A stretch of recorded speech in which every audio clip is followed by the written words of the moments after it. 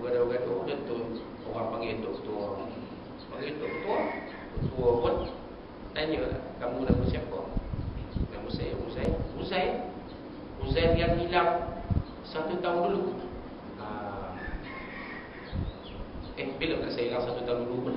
Eh, saya singgah di satu gua, saya tidur kat situ, lepas tu saya jaga. Saya tengok unta saya dah tiga rangka. Tapi buat makanan saya, okey saya pun makan, saya tu balik. Saya meneruskan perjalanan, tak sampai sampai ke kampung. Saya tengok saya ruang dia tak kenal. Ya, jadi saya heran. Mana rumah tuan? Uzair tu tujuh.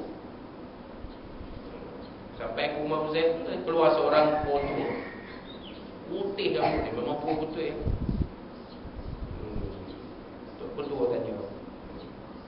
Eh, makcik, ni satu satu orang satu orang hamba Allah ni. Dia kata ni rumah dia. Hmm.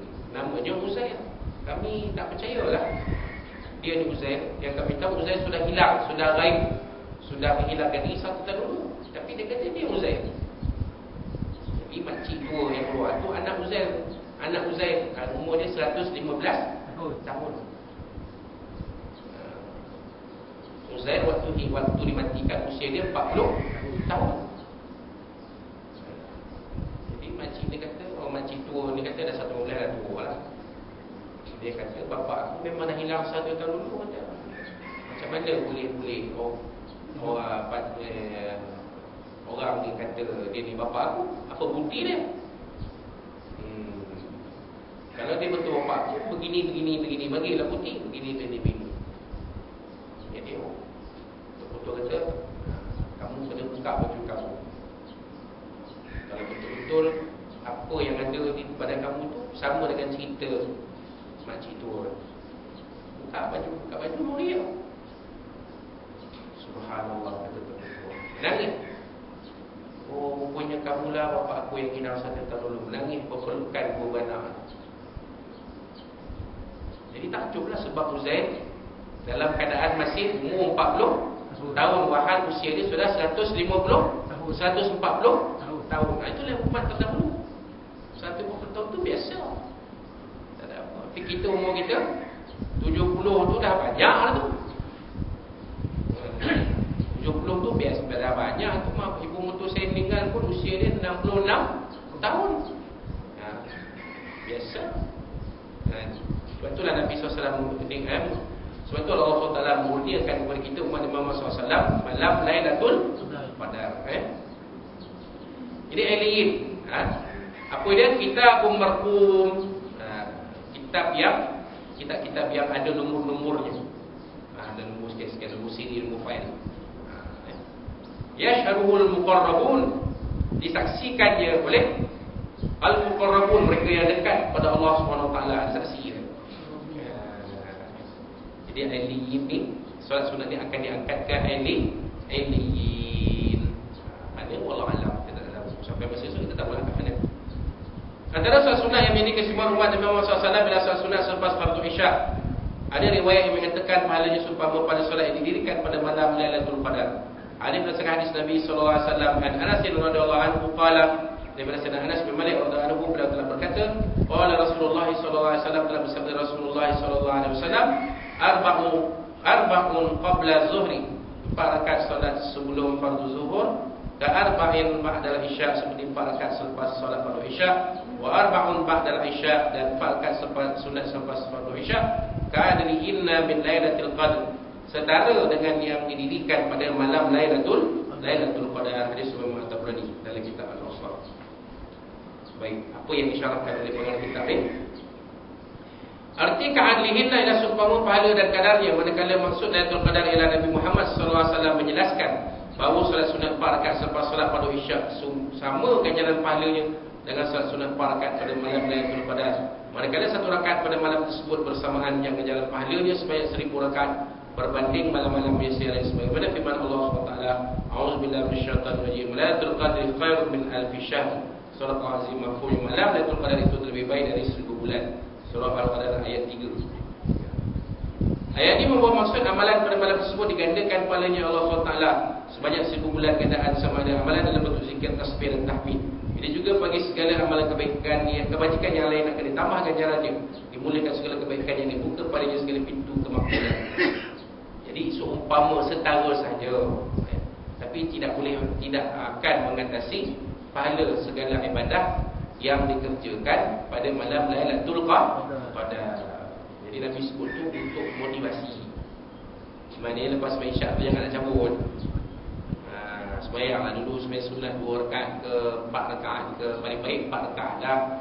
Ha, sebab pahala sebab solat solat sunat empat rakaat sampai isyak tu pahalanya sangat ber, sangat besar. Seumpama ibadah yang dikerjakan pada malam Lailatul Qadar. Pada seumpama bukan betul-betul bukan betul-betul sama. Seumpama dia. Punya level tu sama dia punya taraf tu sama tapi level tak samalah dia punya ketinggian pahala tu sebab ibadah paling banyak pahala akan ada pada malam Lailatul Qadar. Sebab Allah Taala sendiri dah mengatakan malam tu pada itu lebih baik dari 1000 bulan. Ini 83 tahun 4 bulan kan? Eh? Dalam riwayat yang terdapat dalam kitab Al-Kabir itu hadis daripada Abdullah bin Umar radhiyallahu anhu daripada Nabi Muhammad sallallahu alaihi wasallam bagi dia bersabda mafhum siapa yang solat sunat? Siapa yang solat isyak pasti ada berjamaah dan solat sunat supaya empat rakaat sebelum dia keluar dari masjid dia nya sumpah mendirikan solat pada malam Lailatul Selain daripada itu mengekalkan solat-solat witir akan memperoleh ganjaran pahala untuk orang yang mati pada jalan Allah SWT. Hadis Nabi sallallahu alaihi wasallam Nabi Umar radhiyallahu anhu qala daripada Abdullah bin Umar radhiyallahu anhu beliau telah berkata Sami itu Rasulullah sallallahu alaihi wasallam aku telah mendengar Rasulullah sallallahu alaihi wasallam bersabda Man sallat duha siapa yang mengerjakan salat duha wa shoma thalathati ayyam min asy-syahr dan berpuasa 3 hari setiap bulan wala yatrukil witra dan tidak meninggalkan salat witir fi safar wala hadar. Sama ada ketika bermusafir ataupun sebaliknya. Wala hadar tu maknanya sebaliknya lah. Waktu musafir pun dia semalam solat duha waktu tak musafir pun dia solat duha juga. Kutiba lahu ajru syahid. Dituliskan untuknya pahala orang mati syah syahid. besar ganjaran dia ha, solat witir eh wallahu alam. Antara kelebihan salat witir yang Allah SWT mengasihinya. Siapa yang mendirikannya semuanya telah melaksanakan apa yang disukai oleh Allah SWT. Ali ada besarkan hadis mafhumnya daripada Sayyidina Ali radhiyallahu anhu. Karamallahu wajhah berkata solat witir tidak wajib sebagai solat, solat fardu. Tetapi ia adalah sunnah Rasulullah sallallahu alaihi wasallam. Baginda wasallam bersabda, sungguhnya Allah SWT itu ganjil dan suka kepada ganjil yang ganjil-ganjil. Oleh itu berwitirlah kamu wahai ahli Al-Quran. Hadis riwayat Abu Dawud dan Tirmizi ada saya Ibnu Majah dan Ibnu Khuzaimah. Ah ha, itu dia tadi. Walaupun itu pada kita yang ya berpegang dengan fiqh mazhab Syafi'i, solat witir itu hukumnya su sunat. Ya. Ha, jadi lebih baik untuk kita mengerjakannya. Ha, ya, wallahu a'lam. Hadis seterusnya wa salatul witri Allah taala biha wa hiya khairul lana min humurin na'am. Eh, kama qala sallallahu alaihi wasallam hukumnya Solat witir dikurniakan kepada kita oleh Allah SWT Dan ia satu solat yang lebih baik daripada unta merah. Hadis suat Abu Dawud, Ibn Majah dan At-Tirmizi. Nah, unta merah ni ialah unta yang kerikil lah. Nah, Kalau kata kambing tu kambing bor tu besar Burger tak dapat dah Tinggal ke maksud silap seribu pun seekor Kambing bor nah, Tak tahu lah kambing yang yang disembelih untuk Pergi tengah ringam nak tahu lah apa jenis kambing. Ha, Tapi kita ni tak kisah asal kambing ya Belasah kan? Tak Lagi-lagi kalau dibakar BBQ Oh ini sedap berulang-ulang. Yang laku itu.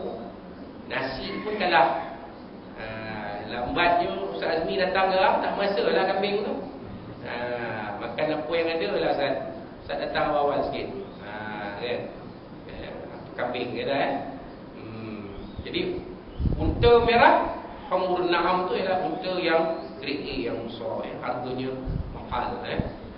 Hmm, Wallahu alam Begitu juga Rasulullah SAW menegur dan berlepas diri daripada orang yang meninggalkannya dengan sabda baginda Kuala Rasulullah SAW Al-witru haqqun faman lam yu yutiru falaysa minna. Ya. So witir itu